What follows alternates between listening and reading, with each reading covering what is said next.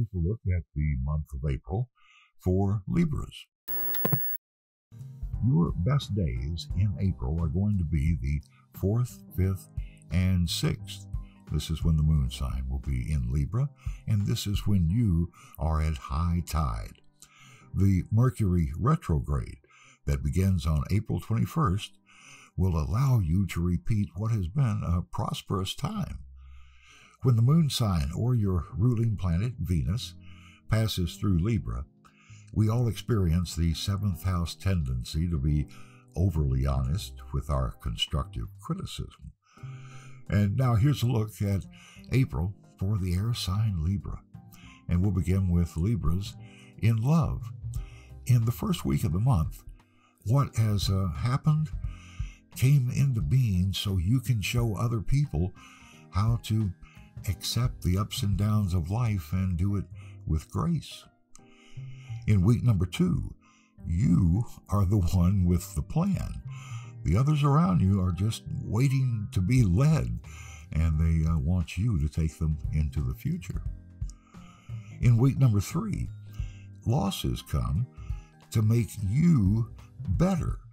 So learn as you progress to the uh, higher levels. And in week number four, you're here to show others how it's done, so set a good example for them.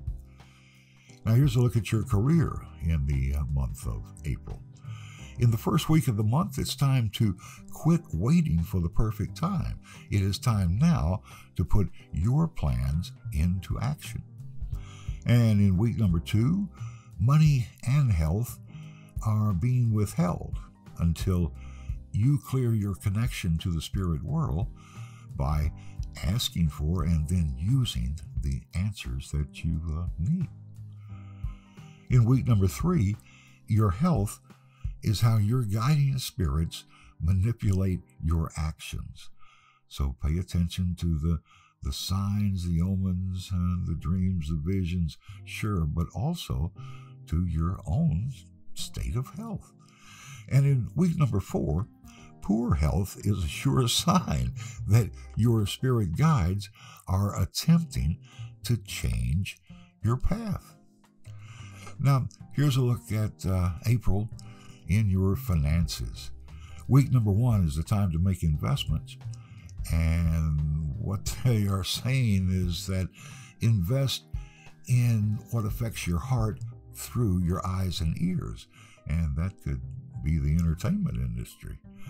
In uh, week number two, when a job morphs from uh, work into play, you know you're in the right place and you know that you're with the right people that you can uh, stay with. In week number three, you take off from one place and land in another altogether. And this mistake is necessary to put you where you need to be at the, uh, the right time. In the fourth week of the month, you're able to go to the one who needs you most and with their help accomplish what you have been uh, dreaming of, what you've been trying to put together in your mind. So that's a look at the days in April. That's according to your sun sign. And now here's a look at your nights in April. This according to the uh, moon sign. In week number one, the week of the full moon, which will rise in Libra, the dreams and the visions that come to you this week are about your intimate relationships, and they will show you where you stand right now in the eyes of your um, other. And in week number two, the week of the last quarter of the moon, that will rise in Virgo. So the dreams, the visions that come this week will show the uh, the worth of your habits, what you're doing to yourself, both the uh, good and bad side there. And in week number three, the week of the new moon that'll rise in Taurus, the dreams, the visions that come now are about material world possessions that you will receive in the future if you're willing to put in the work right now.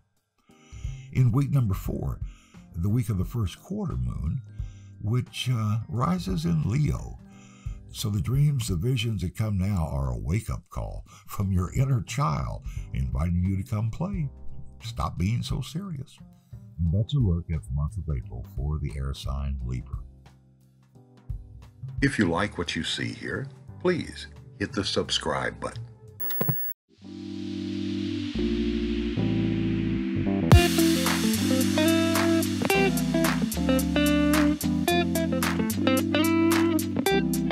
Thank you.